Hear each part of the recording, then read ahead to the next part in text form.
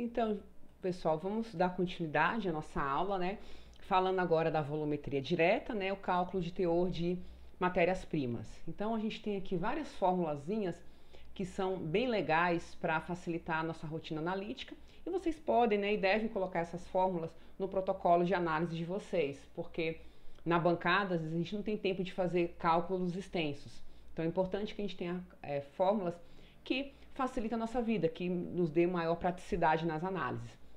Então esse cálculo de teor, né, se eu estiver trabalhando na matéria-prima, que vão ser as primeiras aulas dessa parte né, de análise quantitativa, o teor ele vai ser o volume gasto, isso se for volumetria direta, depois eu vou falar da volumetria indireta ou titulação de retorno. Mas indo para a volumetria direta, o teor percentual é o volume gasto, que vocês vão anotar lá na bureta, vezes o fator de correção. Aqui, gente, entra o fator de correção, porque minha solução não está exatamente a 0,1, minha solução não está exatamente a 1, ela vai estar tá um pouco mais um pouco menos, concentração maior ou menor. Então, aqui entra o fator de correção. Vezes o fator de análise, que ou você vai buscar na farmacopeia, ou você vai calcular esse fator de análise, já para automatizar as próximas, é, os próximos ensaios. Vezes 100, porque a gente está né, tá falando questão percentual, dividido pela tomada de amostra. Então, aqui o teor, tá? V, o volume gasto da solução volumétrica na titulação da solução amostra. O fator de correção é o fator de correção da solução volumétrica que você utilizou. O fator de análise, né? A massa do fármaco titulado em miligrama que reage com 1 ml da solução volumétrica, e aí você vai encontrar lá na monografia, na farmacopeia, e a tomada de ensaio da amostra, é a quantidade amostrada do fármaco sob análise em miligrama. Então, quantos miligramas você pegou da matéria-prima, né? Isso no caso de sólido. Então, vamos ver um exemplo aqui, mais prático. Calcular o teor de bicarbonato de sódio, né? Ou em sachês ou na matéria-prima, é, utilizando 1,5 gramas, que equivale a 1.500 miligramas. É, foi utilizado, nesse caso, uma solução volumétrica molar de ácido clorídrico, então isso significa que é 1 molar, e é a solução, a fator de correção dessa solução é de 0,891. Então ela não ficou exatamente 1, tá? Aí a massa que, que né, pelo método farmacopeico, ele sugere que a gente pese 1,5 gramas, né, que equivale a 1.500 miligramas. Então, nesse caso aqui, do, se eu pegar um sachê de bicarbonato e, e não tiver outras, outros componentes na formulação, eu posso usar direto essa fórmula. Tá? Vai depender muito do, é, do meu produto acabado. Né? Se ele for puro, se ele só tiver a IFA, eu posso usar direto a mesma fórmula da matéria-prima. Se não, aí a gente vai mostrar para vocês uma formulazinha que a gente utiliza para produto acabado. Aí a gente vai ter aqui Vamos calcular o fator de análise, né? Ensinar para vocês como é que calcula o fator de análise. Então, a massa molecular, o peso molecular do bicarbonato de sódio é 84. Então, para a gente calcular né, o fator de análise, essa reação, lembrando é, aqui do ácido clorídrico e do bicarbonato, ela tem estequiometria 1 para 1. Então, primeira coisa, quando eu vou calcular um fator de análise, quando ele não é dado, eu tenho que montar né, a reação e ver estequiometria. Então, para calcular o fator de análise, eu preciso saber o quê? 1 ml da minha solução de ácido clorídrico molar reage com quantos miligramas do bicarbonato? Então eu preciso responder essa pergunta para saber como para eu chegar no, é, no fator de análise, tá? Então, a gente considerando essa ecometria aqui de 1 para 1, então o número de mols de HCl vezes o volume de HCl, é igual. Aí aqui, gente, ó, é sólido, não tem solução.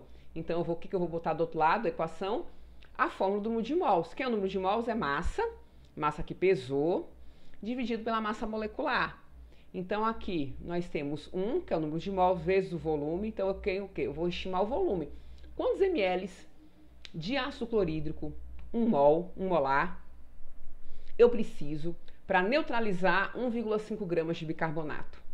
Se eu tiver essa informação, eu consigo calcular o fator de análise. Por isso que a gente está fazendo uma estimativa de volume. Bem, então aqui eu vou colocar o número de mols, que é 1, né? Porque aqui, ácido clorídrico, né? Molar. O que é uma solução molar? É a solução de 1 mol por litro. Então eu já sei que eu tenho 1 mol e 1 litro. Então eu já coloco aqui. vezes o volume, que eu quero saber o volume é, que eu vou precisar aqui para a massa. A massa é, é quanto? 1,5 gramas, dividido pelo peso molecular, que eu já coloquei aqui para vocês.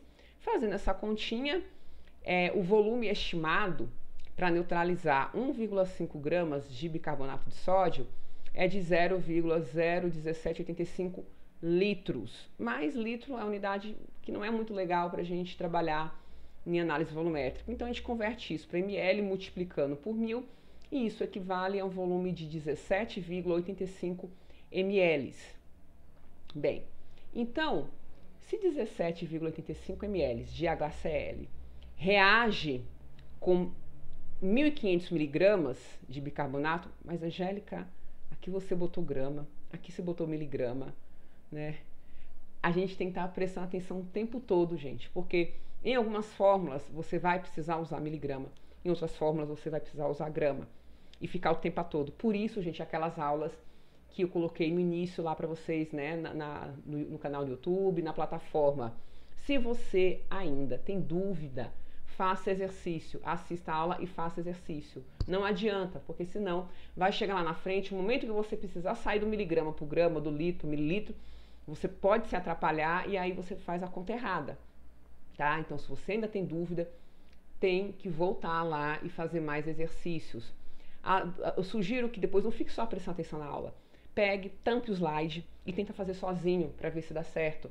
Né? Mesmo esses cálculos aqui, né? tampe, deixa só enunciado e vai fazer os cálculos para ver se realmente você entendeu. Né? Às vezes você entendeu, mas você precisa praticar um pouco mais. Então, exercício e exercício, exercício é, é o único caminho que tem para você dominar esse conteúdo. Bem, então a gente viu que 17,85 ml. É por que, gente, eu coloquei miligrama? Porque fator de análise ele é sempre dado em miligrama e ml. Né? É sempre 1 ml reage com x miligramas do fármaco. Então, por isso que aqui eu saí de grama aqui, porque número de mols, número de mols, o conceito do, do número de mols, o conceito de molaridade é dado em gramas. Então, eu não poderia colocar 1500, eu não poderia colocar miligrama aqui porque é o conceito do número de mols. Mas o conceito de fator de análise, ele já trabalha com miligramas. Então, a gente, né, volta e meia fica aí, é normal a gente se confundir, mas para a gente se confundir menos é fazer exercício. Então, 17,85 ml, que foi o, o, volume estimado, reage com 1.500 miligramas do bicarbonato, 1 ml, né, porque é o que eu vou dar de análise, vai reagir com X miligramas de bicarbonato de sódio. Fazendo essa regrinha de 3, esse valor dá 84,010, ou seja, isso é o fator de análise. 1 ml de uma solução de ácido clorídrico molar reage com 84,010 miligramas de bicarbonato de sódio. Então tá aqui, né? Se precisar, como é que calcula? Estou mostrando pela segunda vez como é que calcula o fator de análise. Bem, e olha lá na farmacopeia, né? Graças a Deus, gente, a farmacopeia dá pra gente, tá? Se a gente utilizar exatamente essas concentrações. Mas e se eu utilizar um ácido clorídrico 0,1? Serve esse fator de análise? Não serve. Aí você vai ter que recalcular. Então, lá na farmacopeia, né, para a matéria-prima do bicarbonato de sódio, ele traz aqui pra gente, ó, como é que a gente vai fazer a análise da matéria-prima, né, do bicarbonato de sódio. Então, ele pede para dissolver 1,5 gramas da amostra de bicarbonato. É, e aí você, Angélica, eu não consegui pesar 1,5, eu pesei 1,52, não tem problema, anota a massa, porque a fórmula lá vai corrigir. Anota a massa, ah, eu, eu pesei 1,48, não tem problema. Desde que você anote a massa com quatro casas decimais. Vai pesar em qual balança? Na balança analítica, porque a gente esse é o meu analito. Meu analito vai ter que ser na balança analítica, não vai ser na balança de precisão. Então você pesou, você anota a massa e sempre em triplicata, gente. Você nunca vai pesar um, você pesa logo em três. Aqui normalmente eu peço para pesar, de, assim, eu sugiro que pese direto no Ellermaia, tá? Não pega um Ellermaia muito pesado, pega um Ellermaia mais leve, porque às vezes, né, pode, se for um Ellermaia muito pesado, pode sobrecarregar a balança analítica. Mas a vantagem é que você é, tem menos perda na transferência. Eu peso um vidro de relógio e transfiro, eu já estou perdendo essa massa no vidro de relógio, tá? E aí você vai usar água isenta de dióxido de carbono. O que é essa água isenta de dióxido de carbono? é uma água, né? Que como é que a gente obtém? A gente pega a água destilada e ferve. Ferve, deixa ela aberto para eliminar né, a, ebulição, ela ajuda a eliminar, a eliminar o gás carbônico. Então, eliminando o gás carbônico, porque o gás carbônico ele vai interferir ali no bicarbonato, nessa reação, tá? Então, você ferve essa água por alguns minutos, vai, vai titular quente? Não. Ferveu, tampa, né? O, o, o né, coloca num frasco fechado, tampa com papel alumínio e espera atingir a temperatura ambiente para proceder, tá? E aí você vai colocar mais ou menos 50 ml. Angélica, eu coloquei 60, tem problema? Não tem problema. Posso colocar 60, posso colocar 80, posso colocar 100. Só não coloca 500 porque não vai caber no Ellermaia. E aí você vai solubilizar porque aqui no de mols. Esse 1,5 gramas não vai mudar, independente do volume de água que eu adicionar. Tá? Aqui ele sugere 50 ml que já dá para solubilizar legal ali o bicarbonato. E aí você vai titular com ácido clorídrico molar SV, que já foi padronizado, tá? Utilizando, aí que já dá 0,2 ml de alaranjado de metil SI, né, desse indicador. E aí ele vai me dar, já deu o fator de análise que a gente calculou lá, lá atrás. Cada ml de ácido clorídrico molar SV corresponde a 84,010 miligramas de bicarbonato. Beleza, então isso aqui está lá na farmacopeia, né? Tem gente que vai fazer isso aqui na aula prática. Bem, então aqui eu vou dar um exemplo. Calcular o teor de bicarbonato de sódio utilizando essa solução, né? HClSV molar com fator de correção. Fator de correção tem na farmacopeia? Não, gente. Esse fator de correção vai você que vai ter que calcular, vai ter que estar no seu laboratório, porque um dia eu vou preparar a solução, vai estar mais concentrada, outro dia vai estar diluída. Então isso aqui é variável esse fator de correção, vai depender da, de como é que você preparou e padronizou. Então por isso que a farmacopeia não vai te dizer o fator de correção, isso aí você vai ter que calcular no laboratório. E aí vamos supor que você gastou 20 ml é, em uma das titulações, isso você faz em triplicata, e você pesou é, 1,52 gramas, não tem problema. Você pode manter esse valor desde que você coloque nas formas. E aqui o fator de análise já foi dado aí pela farmacopeia. Então, botando, né, usando aquela fórmula que eu mostrei para vocês, que ele já vai me dar o teor percentual, vai ser o volume gasto. O volume gasto foi quanto? 20. O fator de correção, né, que aí foi da sua solução, 0,891 vezes fator de análise, que a gente viu lá, que a farmacopeia deu, tá aqui, vezes 100, que já é da fórmula que eu vou dar percentual, dividida pela tomada de ensaio em miligrama. Então, tem que prestar atenção, para não cair aqui na pegadinha. Então, eu pesei 1,52 gramas, equivale a 1.520 miligramas. Fazendo essa continha, multiplicando tudo, dividido por 1520, eu vou ter um teor de 98,49%. Então aqui, ó, você usou isso daqui, vocês podem utilizar essa fórmula direto lá no protocolo de análise, que vai facilitar bastante a sua vida. Bem, e a, vamos calcular, né, o teor né, vai ser indicado, vamos supor que teve ensaio em branco, alguns ensaios, o que, que é o ensaio em branco? Você vai colocar vai, vai titular, vai colocar no Ellermeyer tudo menos o analito. Por quê? Pode ser que um indicador, uma solução que você corrige o pH, né, enfim, outras substâncias que você utilize na titulação também consome, podem consumir parte é, do, seu, né, do seu titulante. Né? Até o próprio indicador ele pode consumir, né? principalmente a, o ensaio branco ele é muito importante na volumetria de precipitação é, porque ele reage diretamente com o titulante, ele consome o titulante. Então, se eu precisar fazer um ensaio em branco, a única diferença da fórmula, gente, é que eu vou ter que descontar o volume do branco. Né? Então, eu coloquei tudo no Ellermeyer, menos o meu analito, e vou abrir o titulante e vou ver quanto é que gastou. Esse volume gasto vai ser inserido na fórmula. Então, você coloca aqui e vai descontar o volume branco. E faz tudo da mesma maneira, você não muda nada. Então, não tem dificuldade. Então, quando vocês, por exemplo, estiverem fazendo a análise quantitativa do soro fisiológico, né, que é o cloreto de sódio, a 0,9%, você vai precisar fazer um ensaio em branco e aí o volume que você gastou no ensaio branco você vai descontar né, do volume que você gastou nas titulações. Então, tá aqui a formulazinha. Bem, a, é, outra questão que eu falei com vocês, né, do fator de correção dentro do laboratório. Então, eu preparei lá, fiz a titulação, e aí eu cheguei né, à conclusão que a concentração real é um valor, só que a concentração que eu queria era outra, um pouco maior, um pouco menor. Então, a, dessa forma, vocês também conseguem calcular o fator de correção. Então, é a realidade dividido pela expectativa. Pronto, realidade pela expectativa, fator de correção. Então, vamos supor que eu, meu, meu objetivo, minha expectativa era preparar um ácido clorídrico molar, né, a 1 molar SV, mas que depois da padronização eu cheguei no valor de 0,9815, que ele não ficou exatamente 1.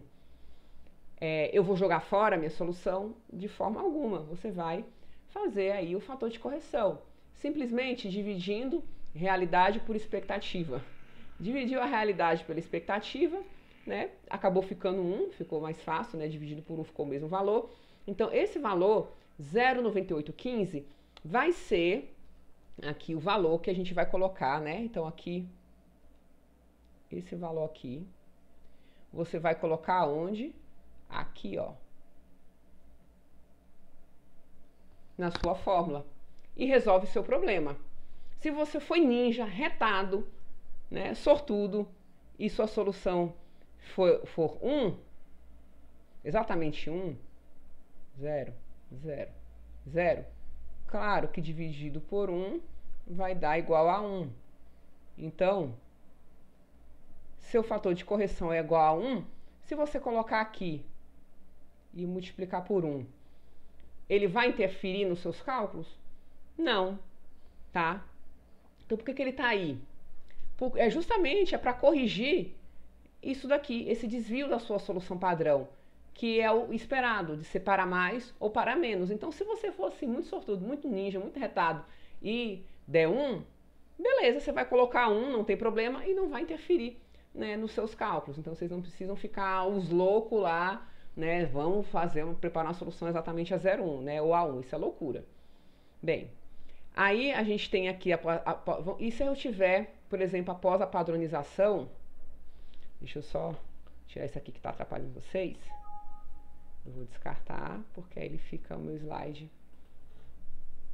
Então, e se eu titulei, eu padronizei e dei uma solução de 1,0120?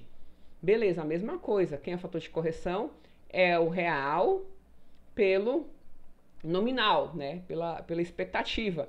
Então, aqui vai ser 1,0120. Então, eu calculando se deu esse valor, esse valor é que eu vou colocar no meu fator de correção. Então, para soluções molares, fica fácil. Porque as soluções molares, que é um mol por litro, é, a própria concentração da solução vai ser o fator de correção. Mas, se eu tiver uma solução 0,5 molar, aí é diferente. Eu vou, vou dividir pelo quê? Por 0,5. E assim sucessivamente. Bem, e se eu tiver é, formas farmacêuticas líquidas. Como é que eu vou tomar a, o meu ensaio? Bem, então normalmente as formas farmacêuticas líquidas nós expressamos a concentração em miligrama por ml, que a gente vai ver o leite magnésio. Então volta e meia algumas formulações você vai ver lá expressando tem x miligramas do fármaco por ml de solução ou suspensão. Então como é que eu vou calcular? Se for na volumetria direta, volume gasto vezes o fator de correção vezes o fator de análise dividido pela tomada de ensaio. Então, aqui você vai ter o que? O teor do ingrediente ativo por ml do medicamento dosado. Então, aqui, ó, quem é esse volume que você gastou na titulação? Fator de correção da solução volumétrica, fator de análise, que a gente já viu que você, é dado na monografia. E essa tomada de ensaio é o volume ml do medicamento em análise, ou seja, quanto foi que eu peguei lá do leite de magnésia, lá do soro fisiológico, por exemplo, para fazer as minhas contas, tá?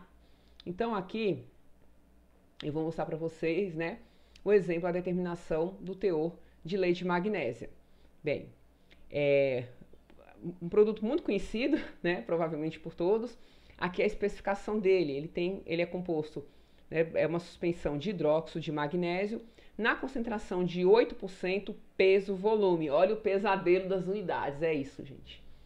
A gente vai ficar o tempo todo falando, poxa, Angélica, a já falou hoje de miligrama por ml. A gente já falou de peso volume, já falou de percentual, já falou de mol, já falou de molaridade. E é isso, gente. Trabalhar nessa área é transitar por todas as, essas diferentes unidades de concentração. Então vamos lá. Né? O leite de magnésio, que a gente viu aqui, ele tem uma concentração de 8% de hidróxido de magnésio, tá? Aqui no rótulo, tá? A massa molecular do leite de magnésio é de 58,33. Isso aí você pode olhar na internet, você descobre. Vamos supor que eu peguei uma alíquota de 10 ml do leite magnésio e titulei com ácido clorídrico a 1 mol por litro, né? O ácido clorídrico SV, só que ele tem um fator de correção de 0,94, né? Que ele não ficou exatamente 1, como é o que acontece. E nessa titulação, vamos supor que a gente gastou 25 ml. Beleza, né? Só que a gente tem que lembrar mais um detalhe. O hidróxido de magnésio, ao reagir com ácido clorídrico, ele não tem uma estequiometria de 1 para 1. Sinto informar. Então, por isso que você vai calcular o fator de análise, você vai ter que, primeira coisa, não tem fator, caramba, não tem na farmacopeia, o que, é que eu faço? Estou ensinando como é que calcula o fator de análise. Que você não vai ficar fazendo essa conta. Se você trabalhar no laboratório que produz isso daí, você não vai ficar todo dia fazendo essa conta enorme. Então você já deixa a fórmula prontinha com o fator de análise, para você não ter que ficar pensando, ai meu Deus, a estequiometria não é um para um, então vai me dar mais trabalho. Não tem na farmacopeia. Então aqui eu estou dando o caminho para vocês, né? Porque fora da farmacopeia vocês também têm que saber trabalhar. Bem, então vamos lá para a conta. Se prepare. Bem, então, se a gente vê lá na especificação, se ele é 8%, o que, que eu expliquei para vocês quando é 8%? É que eu tenho 8 gramas, né, esse percentual em 100 gramas ou em 100 ml. Então, significa que em cada 100 gramas de leite de magnésia, eu tenho 8 gramas do hidróxido de magnésio. Vamos supor que eu peguei lá e utilizei 10 ml. Em 10 ml, eu vou ter quantos gramas de hidróxido de magnésio. Então, eu vou ter, fazendo essa continha, 0,8 gramas de hidróxido de magnésio em 10 ml de suspensão. Tá? E aí, a gente vai ter o quê? Para a gente chegar no fator de análise, calcular o número de mols, gente. Isso. Então, em 10 ml, que é a minha alíquota, onde eu tenho 0,8 gramas de hidróxido de magnésio, quantos mols a gente tem de hidróxido de magnésio? Aí vamos voltar para nossa continha lá. Quem é número de mols, gente? É a massa em gramas, em gramas, tá? Dividido pelo peso molecular. O peso molecular já dei aqui para vocês, tá? Então, eu tenho 0,0137 mols de hidróxido de magnésio nessa alíquota que eu peguei aqui de 10 ml da suspensão, beleza? Guarda essa informação aí, tá? Então, que que eu, por que, que eu fiz toda essa conta? Porque eu quero saber quanto é que eu vou gastar de ácido clorídrico mol para neutralizar essa minha alíquota. Beleza, então eu já sei o número de mols, né? Então, como é que eu vou fazer essa previsão? Aí, é, como eu não tenho fator de análise, ninguém me deu, eu vou ter que armar essa equação do hidróxido de magnésio reagindo com ácido clorídrico. E aí a gente vê que a estequiometria, ela, a estequiometria não é um para um, ou seja, significa que um mol, aqui é como se fosse um, um mol de hidróxido de magnésio reage com 2 mols de ácido clorídrico. Beleza, então agora eu vou fazer o que? regrinha de 3, né? De 3 é vida pra gente. Então, 1 mol né, de hidróxido de magnésio reage com 2 mols de ácido clorídrico. Então, aqui eu vou multiplicar, né? Eu vou precisar de 0,27 mols de HCl para neutralizar, né, o meu 0,137 mols de hidróxido de magnésio. Então, mas por que, que a gente chegou nisso daqui, Angélica? Por que, que eu quero esse valor? Por que, que a gente quer saber? Né? Porque eu quero saber o seguinte: quanto eu vou gastar de ácido clorídrico. Porque eu sabendo quanto eu vou gastar de ácido clorídrico para neutralizar esses 10 ml de suspensão, eu chego no fator de análise, que é o nosso principal objetivo. E aí, o que, que eu vou fazer? Bom, eu já sei o número de mols, vamos agora calcular o volume tá? Então, aqui, quem é, o, quem é a molaridade? A molaridade, né? Ela não é... Aqui. Molaridade não é igual ao número de mols dividido pelo volume em litro, beleza. Então, aqui, esse 1 vai ser igual a 0,027, tá? E aí a gente vai ter o quê? A gente achou que dividido por pelo volume. Então nós temos um volume estimado de 0,027 litros. Litro não é legal para trabalhar com volumetria. Convertendo isso daqui em ml, nós temos 27 ml, ou seja, eu preciso de 27 ml de uma solução de ácido clorídrico a 1 mol por litro para neutralizar a minha alíquota, para neutralizar 10 ml de leite de magnésio, tá? Então, com isso, a gente acha que? O fator de análise, que nosso objetivo é chegar no fator de análise para não ficar toda hora fazendo essa conta. Então, bem, e aí o que, que a gente viu lá? Que em 10 ml da minha alíquota, eu tenho 800 miligramas, né? Ah, Angélica, miligrama? Caramba, você não está trabalhando com grama agora? Pois é. Mas o fator de análise ele é expresso em que, gente? Ele é expresso em miligrama. Então, se é 0,8 gramas, eu tenho o quê? 800 miligramas. Então, 800 miligramas de hidróxido de magnésio, tá? Eu preciso de 27 ml para neutralizar.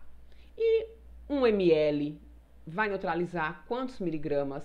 Que isso é o quê? É o conceito do fator de análise. 1 ml vai neutralizar x miligramas meu fator de análise é de 29,63, tá? Então, cada ml de ácido clorídrico, 1 mol por litro, neutraliza, reage estequiometricamente com 29,63 miligramas de hidróxido de magnésio. Pronto. Uma vez que você tem isso aí, tá? Agora a gente usa a formulazinha. Então, isso aqui, gente, só faz uma vez e fica lá no laboratório. Você não vai ficar toda vez fazendo essa conta. Aí a gente implica a fórmula né, de miligrama por ml, volume gasto, fator de correção, fator de análise, tomada de ensaio. Então, aqui que a gente tem. Vamos supor que a gente gastou, aqui eu estou dando um exemplo hipotético, gastou 25 ml. Eu titulei e gastei 25 ml. E o nosso ácido clorídrico tava, tinha um fator de correção de 0,94. Aí eu vou multiplicar pelo fator de análise e vou dividir por 10, tá? Então, né, que, é, foi, que foi a quantidade da minha amostra, eu peguei 10 ml. Então, nós temos 69,63 miligramas por ml né, de hidróxido de magnésio, tá? Mas a gente viu que o rótulo, o rótulo, ele tem o quê? Ele preconiza, é, 80, ele preconiza 80 miligramas tá, por ml. Então, vamos comparar o rótulo, né? No rótulo, ele diz que ele tem 8, 8 gramas em CML, porque é 8%. Então, em 1 ml, ele vai ter quanto? 80 miligramas por ml, tá? Que a gente tem que converter tudo na mesma casa. Então, aqui está miligrama por ml, para eu comparar com o rótulo. Então, no rótulo, é, equivale ao que? 80 miligramas por ml. Bem, a gente já vê que está baixo, ó. Mas aí eu tenho que ver a especificação. Qual é o limite superior ou inferior? Então, em relação à referência do rótulo, tá? Então, o que seria 100%, né, conferindo com a especificação? Seria 80 mg por ml, que é a referência do rótulo. Mas a gente só achou 69,63. Então, isso me dá um teor de 86,6 em relação à referência, à especificação. Então, essa amostra provavelmente seria reprovada. Por quê? Se eu, vamos supor que eu tolerar um volume de 10% de teor para mais ou para menos, o valor mínimo seria o quê? É 80 menos 8, porque quanto é 10% de 80? É 8. Então, no mínimo ele tinha que ter 72 miligramas por ml e no máximo 80 mais 8, 88. Então, a minha margem aqui para ser aprovado o produto era entre 72 e 88 miligramas por ml, mas o meu produto ele está abaixo, ele está 69,63. Portanto, esse produto estaria reprovado. Então, na próxima aula, a gente vai falar um pouquinho de volumetria indireta.